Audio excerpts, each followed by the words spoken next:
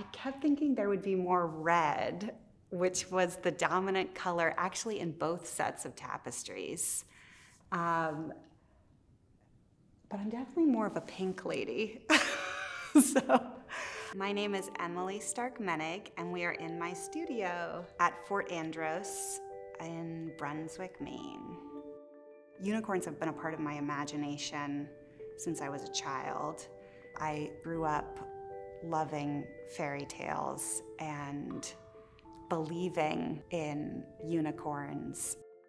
My parents are both amazing artists, and they my mom ran a gallery for a little while, so they would take me to museums and galleries, and we, I was sort of steeped in art history and in contemporary art. The tapestries at the Met Cloisters are basically about the hunt for the unicorn. There was this idea that if you put a maiden, a virgin, in the woods, the unicorn, who was this the fastest, wildest, strongest, uh, most magical being in the woods would be attracted to her scent, so the scent of a virgin. And so the thing that struck me about this story was the maiden, this virgin, and I was like, who is she? That was the question that kind of drove a lot of these pieces, and what is her relationship to the unicorn? I, I kept thinking about this idea of what would it be like to fall into a tapestry?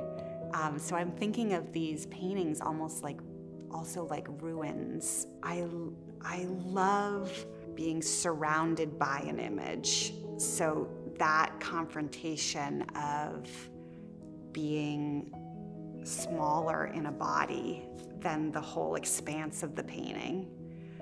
And I work a lot on the floor and I walk all over the paintings. it's interesting to think about how I can come at them now from my point of view today.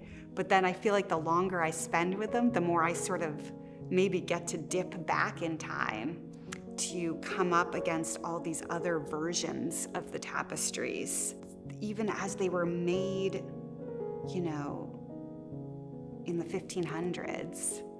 They're living right now, their spirits are alive, and so many different They've passed through so many different hands, literally, and eyes, and so much energy has accumulated around them that they're these kind of breathing stories. And to get to be in communication with those stories is also feels magical. Like, how is that possible? I feel like the linear sense of time never worked for me. So that if I can find alternate sort of expanses, I'm, I'm excited.